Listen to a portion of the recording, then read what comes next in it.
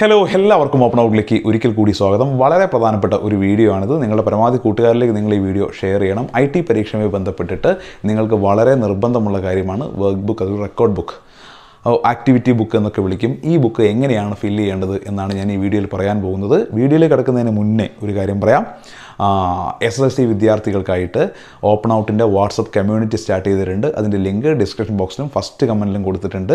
നിങ്ങളത് ജോയിൻ ചെയ്ത് കഴിഞ്ഞാൽ നിങ്ങൾക്ക് ഐ ടിയുമായി ബന്ധപ്പെട്ടിട്ടുള്ള നോട്ടുകളും ക്ലാസ്സുകളും അതേപോലെ ഇംഗ്ലീഷ് ഗ്രാമർ മാത്സ് മറ്റ് സബ്ജക്റ്റുകളുടെ നോട്ട്സ് വീഡിയോ ക്ലാസ്സുകൾ അതിന് പുറമെ ന്യൂസ് എല്ലാം കിട്ടും. തീർച്ചയായിട്ടും നിങ്ങൾ ജോയിൻ ചെയ്യാൻ നിങ്ങൾക്ക് വളരെയധികം യൂസ്ഫുൾ ആയിരിക്കും. ഇനി കാര്യത്തിലേക്ക് കിടക്കാം. ഐ ടി എക്സാമിന് നിർബന്ധമായിട്ടും ഐ ടി എക്സാമിന് ആ റൂമിലേക്ക് കയറുമ്പോൾ നിർബന്ധമായിട്ട് നിങ്ങൾ സബ്മിറ്റ് ചെയ്യേണ്ട ഒന്നാണ് ഐ ടി വർക്ക് ബുക്ക് അല്ലെങ്കിൽ റെക്കോർഡ് ബുക്ക് എന്നൊക്കെ വിളിക്കും. അതിന് മാർക്കുമുണ്ട് യഥാർത്ഥത്തിൽ. അപ്പം ഈ ബുക്ക് നിങ്ങൾ ഫില്ല് ചെയ്യേണ്ടത് നിർബന്ധമാണ്. ഓക്കെ? ചില കുട്ടികൾക്ക് പ്രിന്റഡ് ആയിട്ടുള്ളൊരു ബുക്ക് സ്കൂളിൽ നിന്ന് കൊടുത്തിട്ടുണ്ടാവും. അങ്ങനെ കൊടുത്തിട്ടുണ്ടെങ്കിൽ അതിൽ നിങ്ങൾ കൃത്യമായിട്ട് ഫില്ല് ചെയ്ത് ഫില്ല് ചെയ്ത് എഴുതി എഴുതി എഴുതി വരികയാണ് വേണ്ടത്. ഇനി നിങ്ങൾക്കൊരു ബുക്ക് തന്നിട്ടില്ലെങ്കിൽ ചിലപ്പോൾ നിങ്ങളോട് പറയും ഒരു നോട്ട് ബുക്ക് വാങ്ങിയിട്ട് എഴുതാനായിരിക്കും. എഴുതുകയാണെങ്കിലും ആ ആക്ടിവിറ്റി ബുക്കിലുള്ള കാര്യങ്ങൾ എന്തൊക്കെയാണോ അത് അതേപോലെ നോട്ട് ബുക്കിലേക്ക് പകർത്തിയ ശേഷം ഫില്ല് ചെയ്യേണ്ട ആവശ്യവുമുണ്ട്. എങ്ങനെയാണ് ഈ വർക്ക് ബുക്ക് ഫില്ല് ചെയ്യുന്നതെന്നാണ് ഇനി കാണിച്ചു തരാൻ പോകുന്നത്. നമ്മുടെ തന്നെ ടീമിലെ രോഹിത് സാറാണ് നിങ്ങൾക്കത് എക്സ്പ്ലെയിൻ ചെയ്തു തരാൻ പോകുന്നത്. സോ വീഡിയോ കാണുക. കണ്ടാൽ മാത്രം പോരാ. നിങ്ങളുടെ എല്ലാ കൂട്ടുകാർക്കും ഇത് ഷെയർ ചെയ്യണം. ഇത് അത്രയും മസ്റ്റായിട്ടുള്ള ഒരു കാര്യമാണ് ഈ വർക്ക് ബുക്ക് ഓക്കെ സോ കാണാം. S S L C I T പരീക്ഷയുമായി ബന്ധപ്പെട്ട പ്രാക്ടിക്കൽ റെക്കോർഡ് ബുക്ക് എങ്ങനെയാണ് തയ്യാറാക്കുന്നത് എന്ന വീഡിയോ ആണ് നമ്മളിപ്പോൾ കണ്ടുകൊണ്ടിരിക്കുന്നത്.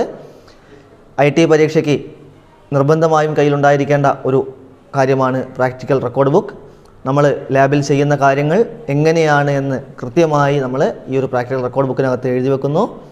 ആ കാര്യങ്ങളോട് കൂടിയിട്ടുള്ള ഈ റെക്കോർഡ് ബുക്ക് നമ്മൾ ഐ ടി പരീക്ഷയ്ക്ക് ഹാളിലേക്ക് കയറുന്ന സമയത്ത് നമ്മളുടെ കയ്യിൽ സൂക്ഷിക്കേണ്ടതാണ്. ഇതിന് മാർക്ക് ഉണ്ടായിരിക്കുന്നതാണ്. അപ്പോൾ ഈ വീഡിയോയിൽ നമ്മൾ ആകെയുള്ള വർക്ക്ഷീറ്റുകൾ എങ്ങനെയാണ് നിങ്ങൾ പൂരിപ്പിക്കേണ്ടത് എന്നതിനെക്കുറിച്ചാണ് പറയുന്നത്. സ്കൂളുകൾ ഇതേപോലെയുള്ള റെക്കോർഡ് ബുക്കുകൾ നിങ്ങൾക്ക് തന്നിട്ടുണ്ടാവും. പല കമ്പനികളുടെ ബുക്കുകളായിരിക്കും ഉണ്ടാവുക. പക്ഷേ അതിന്റെ കണ്ടന്റ് ഉള്ളടക്കം ഒരേ രീതിയിലാണ് വരിക. അപ്പോൾ നിങ്ങൾക്ക് അത് എങ്ങനെയാണ് തയ്യാറാക്കുന്നതെന്ന് നമുക്ക് ഈ ഒരു വീഡിയോയിൽ കാണാം. ബുക്കിൽ എങ്ങനെയാണ് പ്രവർത്തനങ്ങൾ ചെയ്യുന്നതിനെക്കുറിച്ചാണ് നമ്മൾ എഴുതുന്നത്. ആ പ്രവർത്തനങ്ങൾ ചെയ്യുന്നതിന്റെ കൃത്യമായിട്ടുള്ള വീഡിയോ നമ്മളുടെ ചാനൽ മുമ്പ് വന്നിട്ടുണ്ട്. മറ്റ് വീഡിയോകൾ ഇനി വരാനുണ്ട്. അപ്പോൾ അതുകൊണ്ട് എല്ലാ വിദ്യാർത്ഥികളും ഈ ചാനൽ സബ്സ്ക്രൈബ് ചെയ്ത് ആ വരുന്ന വീഡിയോകൾ കണ്ട് എങ്ങനെയാണ് ഓരോ സ്റ്റെപ്പുകളും ചെയ്യുന്നതെന്ന് നിങ്ങൾ കൃത്യമായി മനസ്സിലാക്കി കഴിഞ്ഞാൽ നിങ്ങൾക്കത് വളരെ സഹായകരമാവുന്നതാണ്.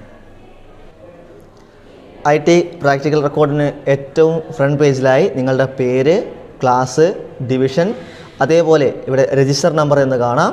നിങ്ങളുടെ S S L C register നമ്പറാണ് ഇവിടെ എഴുതേണ്ടത്.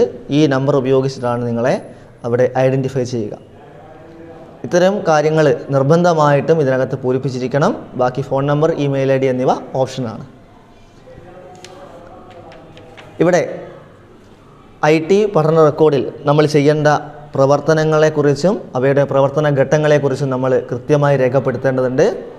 ഇവിടെ ഉള്ളടക്കം എന്ന് കാണുന്ന ഭാഗത്ത് നിങ്ങൾ ചെയ്യുന്ന ആ വർക്കുകൾ എത്ര വർക്ക്ഷീറ്റുകളാണോ ഓരോ പാഠവുമായി ബന്ധപ്പെട്ട വർക്ക്ഷീറ്റുകളാണ് നമ്മളിവിടെ എഴുതുക. ഫോക്കസ് ഏരിയ പ്രകാരം വന്നിരിക്കുന്ന നാല് പാഠങ്ങളിൽ നിന്ന് ചുരുങ്ങിയത് രണ്ട് വർക്ക്ഷീറ്റ് വീതമെങ്കിലും നിങ്ങൾ ഇതിനകത്ത് ഉൾപ്പെടുത്തേണ്ടതാണ്. അവയുടെ ഒരു ഇന്റന്റാണ് നമ്മളിവിടെ നൽകേണ്ടത്. അതേപോലെ ഓരോ വർക്ക്ഷീറ്റുകളിലും നമ്മൾ എന്തൊക്കെ കാര്യങ്ങൾ എഴുതണമെന്ന് ഇവിടെ മോഡലായിട്ട് നൽകിയിട്ടുണ്ട്. അവ നിങ്ങൾക്ക് ഇവിടെ ഉൾപ്പെടുത്താവുന്നതാണ്. എങ്ങനെയാണ് ഐ ടി വർക്ക്ഷീറ്റ് നമ്മളുടെ പഠന റെക്കോർഡ് ഫിൽ ചെയ്യുന്നതെന്ന് നോക്കാം. ആദ്യം ഇവിടെ നൽകിയിരുന്നത് വർക്ക്ഷീറ്റ് നമ്പറാണ് വർക്ക്ഷീറ്റിന്റെ എണ്ണം. നിങ്ങൾ എത്ര വർക്ക്ഷീറ്റുകളാണോ തയ്യാറാക്കുന്നത് ആ നമ്പറുകൾ നിങ്ങളുടെ ക്രമമായി നൽകുക. രണ്ടാമത്തേത് ഡേറ്റ് നിങ്ങൾ ആ പ്രവർത്തനം ചെയ്ത തീയതിയാണ് ഈ ബോക്സിനകത്ത് രേഖപ്പെടുത്തേണ്ടത്. അടുത്തതായി നിങ്ങൾക്ക് കാണാം നെയിം ഓഫ് ദ ആക്ടിവിറ്റി പ്രവർത്തനത്തിന്റെ പേര്. അപ്പോൾ നമ്മൾ ഒന്നാമത്തെ പാഠത്തിൽ നമ്മൾ പഠിച്ചത് ഇങ്ക്സ്കേപ്പ് സോഫ്റ്റ്വെയർ ഉപയോഗിച്ച് ഒരു കപ്പ് സോസർ നിർമ്മിക്കുന്നവയായിരുന്നു. അപ്പോൾ പ്രവർത്തനത്തിന്റെ പേര് എന്ന സ്ഥലത്ത് നമുക്ക് ഇങ്ക്സ്കേപ്പ് സോഫ്റ്റ്വെയർ ഉപയോഗിച്ച് കപ്പ് നിർമ്മാണം. ഓക്കെ. തൊട്ട് താഴെ കാണാം പ്രൊഡക്റ്റ് എക്സ്പെക്റ്റഡ് നമ്മൾ പ്രതീക്ഷിക്കുന്ന ഉൽപ്പന്നം അതിന്റെ ഒരു മാതൃക നിങ്ങൾക്ക് ഇവിടെ വരയ്ക്കാവുന്നതാണ് ആ കപ്പിന്റെ ഷേപ്പ് അതെ ഓരോ സോഫ്റ്റ്വെയറിന് എങ്ങനെയാണോ വരുന്നത് അതനുസരിച്ചുള്ള പ്രതീക്ഷിക്കുന്ന ഉൽപ്പന്നങ്ങളുടെ ഒരു മാതൃകയാണ് നിങ്ങളിവിടെ നൽകേണ്ടത്. ഇനി മാതൃകയില്ലാത്ത ഭാഗങ്ങളാണെങ്കിൽ നിങ്ങൾക്ക് അവിടെ എന്താണോ ആ ഉൽപ്പന്നം അതിനെക്കുറിച്ച് രണ്ട് വാക്കിൽ ഇവിടെ എഴുതാം. അടുത്തതായി നമുക്കിവിടെ പ്രിപ്പറേഷൻ മെറ്റീരിയൽ മുന്നൊരുക്കം സാമഗ്രി. നമ്മൾ ഉപയോഗിക്കുന്ന സാമഗ്രികൾ ഏതൊക്കെയാണ് അവയെക്കുറിച്ചുള്ള ഒരു വിവരണങ്ങളാണ് നമ്മൾ ഈ ഒരു ബോക്സിനകത്ത് എഴുതേണ്ടത്. അപ്പോൾ ചില സോഫ്റ്റ്വെയറിലൊക്കെ റിസോഴ്സ് ഫയലുകൾക്ക് നമ്മൾ ആദ്യമേ തന്നിട്ടുണ്ടാവും. ഇമേജ് ടെൻ ഫോൾഡറിനകത്ത് ഇന്ന ചിത്രം ഉൾപ്പെടുത്തുക. അല്ലെങ്കിൽ എക്സാൺ ഡോക്യുമെൻസിൽ നിന്നും ഈ ഒരു ഫയൽ തുറക്കുക. ഈ കാര്യങ്ങളൊക്കെ പറഞ്ഞുകൊണ്ടുള്ള മുന്നൊരുക്കങ്ങളും സാമഗ്രികളുമാണ് നമ്മളിവിടെ എഴുതേണ്ടത്. അത് നിങ്ങൾ ചെയ്യുന്ന വർക്ക്ഷീറ്റുമായി ബന്ധപ്പെട്ട സാമഗ്രി അല്ലെങ്കിൽ മുന്നൊരുക്കങ്ങൾ മാത്രം പൂരിപ്പിച്ചാൽ മതി. അടുത്തതായി വരുന്നത് ഈ ഒരു വർക്ക്ഷീറ്റിലെ ഏറ്റവും പ്രധാനപ്പെട്ട ഭാഗമാണ് സീക്വൻസ് ഓഫ് ആക്ടിവിറ്റീസ് സ്റ്റേജസ് അതായത് പ്രവർത്തന ക്രമം ഘട്ടങ്ങൾ. ഓരോ പ്രവർത്തനം ചെയ്യുന്ന സമയത്തും നമ്മൾ ചെയ്യുന്ന സ്റ്റെപ്പുകൾ അവ കൃത്യമായി ഇവിടെ രേഖപ്പെടുത്തുന്നു. അല്ലെങ്കിൽ ഘട്ടങ്ങൾ നമ്മളിവിടെ കൃത്യമായി രേഖപ്പെടുത്തും. ഇവരുടെ മാതൃകകൾ നമ്മളുടെ ഈ വീഡിയോയുടെ ഡിസ്ക്രിപ്ഷൻ ബോക്സിലും അതേപോലെ ഫസ്റ്റ് കമന്റായിട്ട് നമ്മൾ പിൻ ചെയ്ത് വെച്ചിട്ടുണ്ട്. അവ നോക്കി നിങ്ങൾക്ക് കൃത്യമായി നിങ്ങളുടെ വർഷീറ്റിനകത്ത് എഴുതാൻ കഴിയുന്നതാണ്. ഉദാഹരണമായി ആദ്യത്തെ പാഠഭാഗത്തിലാണെങ്കിൽ നമ്മൾ സോഫ്റ്റ്വെയർ തുറന്ന് അതിനകത്ത് മറ്റ് ക്രമങ്ങൾ ഓരോ സ്റ്റെപ്പ് ബൈ സ്റ്റെപ്പ് എങ്ങനെയാണ് എന്നുള്ളത് നമുക്ക് കാണാം. ഓക്കെ. ഇത്രയും പ്രവർത്തനക്രമം ഘട്ടങ്ങൾ എഴുതി തയ്യാറാക്കിയതിന് ശേഷം ഏറ്റവും അവസാനമായി location of the saved file file save ചെയ്ത സ്ഥലം എവിടെയാണ്? നിങ്ങളുടെ ഹോമിലാണോ അതോ എക്സാം ടെൻ എന്ന് പറയുന്ന ഫോൾഡറിലാണോ എവിടെയാണ് നിങ്ങൾ സേവ് ചെയ്തിട്ടുള്ളത്? ആ ഒരു പാത്ത് ആണ് നിങ്ങൾ ഇവിടെ നൽകേണ്ടത്. പരീക്ഷയ്ക്ക് നിങ്ങൾ ശ്രദ്ധിക്കേണ്ട കാര്യം നിങ്ങൾ ചെയ്യുന്ന എല്ലാ പ്രവർത്തനങ്ങളും രജിസ്റ്റർ നമ്പർ ഫയൽ നാമമായി നൽകി എക്സാം ടെൻ എന്ന ഫോൾഡറിനകത്താണ് നിങ്ങൾ സേവ് ചെയ്യേണ്ടത്. ഒരു കാര്യം കൂടി ശ്രദ്ധിക്കുക.